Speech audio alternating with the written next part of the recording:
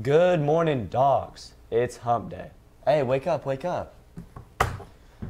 After the pledge, we picture take, retakes, crash, and all that. Please stand. I pledge allegiance to the flag of the United States of America and to the republic for which it stands, one nation, under God, indivisible, with liberty and justice for all. Coming up at the end of this month, picture retakes have been changed to October 27th and will be held in collaboration space 2.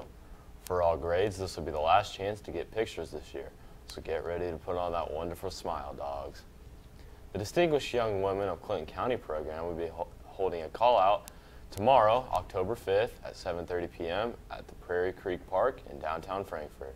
The call out is designed to provide information to all interested contestants and their parents about the upcoming scholarship program held on November 4th and to discuss the application packets. Ladies, make sure to be there tomorrow night if interested. You guys want to hear something pretty cool? In honor of Hispanic Heritage Month yesterday, Frankfort's very own club, Crash, took a trip to the elementary schools to present on Hispanic heritage to the future of Frankfurt High School. Crash would like to thank all students that helped out and attended. That's awesome. For yesterday's trivia question of who created the original hot dog logo, the winner of the trivia question was Juan Garcia Chavez with an answer of Joe Sneeneth. Congrats, Juan. Now, to sports with Rascone.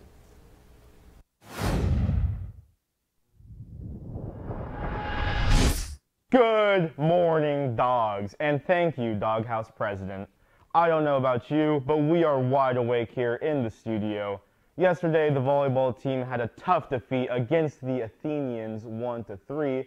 Today, the boys soccer team plays Twin Lakes at West Lafayette for semifinals, sectionals at 7. Go Dogs!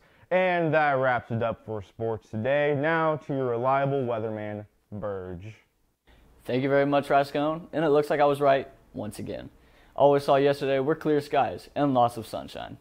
And stepping into your cars this morning, or hopping on the bus, maybe even riding your bike to school, you definitely saw an increase in temperature and more clear skies, as you could see this morning. And it was almost 70 degrees. Definitely a change. The high today will peak at 3 or 4 o'clock, per usual, with the temperature sitting in a nice and warm 84 degrees. And it looks like this is our last day of warm weather for the week because tomorrow it'll drop off into the 60s pretty consistently. Looks like that'll wrap things up here on the weather set. Thank you for tuning in. And now I'll send it to Kai to finish up the morning announcements. DECA will be having a cookie raffle promotion for DECA SBE week on Thursday morning after second period. So make sure to go buy some DECA cookies to get the chance to win a cookie cash. A ticket per DECA cookie bag for the bigger chance to win. The three winners will be announced on Friday. The more you buy, the better chance you have of winning. Thursday from 9:40 to 9:45 a.m. only. For lunch today and lines 1 and 2, it will be spicy chicken sandwiches, and lines 3 and 4, it will be sausage links and mini cinnamon French toast. Special happy birthday goes to Hayden Pitzer, Enrique Valdez Alanis, and Emma Wilder. All right, that wraps up for your hot dog news today, y'all. Have a great Wednesday, hot dogs. Get after it.